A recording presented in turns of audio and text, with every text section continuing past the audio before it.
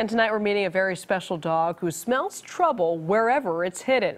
He's helping protect California's $54 billion a year agricultural industry.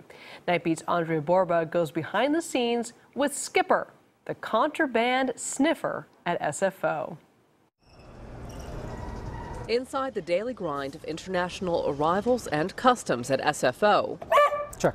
Go boy. you'll find the hardest working dog at the airport. Meet Skipper. Yes, good boy. This eight year old Beagle mix was a stray from the frigid streets of northern Michigan when a shelter worker realized he liked to work and had him trained at the National Detector Dog Training Center in Georgia. Show me. That one? It's usually never a light suitcase. Skipper isn't a drug dog. He's looking for produce, plants, and meat that could bring dangerous pests into the U.S. Is there any food in your bag? Oh, that's not allowed. No fresh fruit. Just next time, don't take the food from the airplane, okay?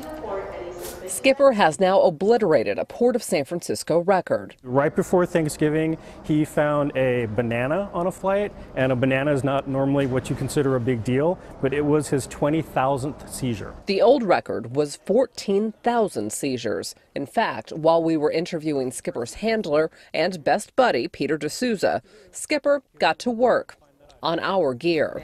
Uh oh. See, he's looking right now. Where is it? Show me. Good boy. That happens a lot. And what Skipper keyed on in our cart just happened to be my breakfast. He knows when we're out here, we're working. And it's not so much working for him, it's a game. Good boy. Find an item, you get a treat. And some items like curry leaves and jasmine earned Skipper a big treat. Good boy.